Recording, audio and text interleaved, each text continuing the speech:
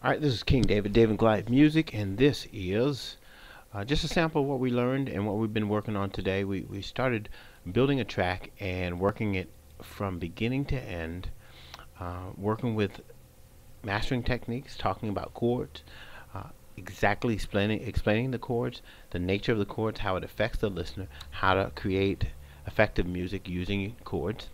And now we're not even I would say we're not even one tenth of the way done with this. So over the next 10 days, we're going to be building on this track uh, until we get a finished track with including uh, vocals. We're going to mix it, master it, we'll take it through the whole process. This is the beginning of the mastering series. David and Goliath Music, beatclass.com.